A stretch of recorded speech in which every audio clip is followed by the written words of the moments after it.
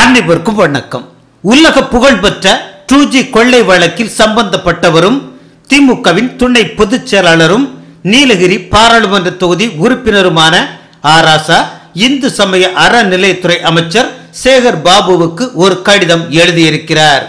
இருபத்தி ஏழு ஒன்பது இரண்டாயிரத்தி இருபத்தி ஒன்று தேதியிட்ட அந்த கடிதத்தில் எனது நீலகிரி நாடாளுமன்ற தொகுதிக்கு உட்பட்ட கோயம்புத்தூர் மாவட்டம் மேட்டுப்பாளையம் வட்டம் காரமடை ஒன்றியத்தின் மேற்கு பகுதி தாழ்த்தப்பட்டோர் மற்றும் பழங்குடியினர் அதிகம் வசிக்கும் மிகவும் பின்தங்கிய பகுதியாகும்.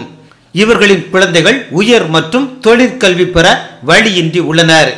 எனவே அவர்கள் பயன்பெறும் வகையில் தேக்கம்பட்டி ஊராட்சியில் உள்ள குருந்தமலை அருள்மிகு குழந்தை வேலாயுத சாமி திருக்கோவிலுக்கு சொந்தமான இடத்தில் அரசினர் பல்வகை தொழில்நுட்ப கல்லூரி அமைத்திட ஆவண செய்யுமாறு அன்புடன் கேட்டுக்கொள்கிறேன்.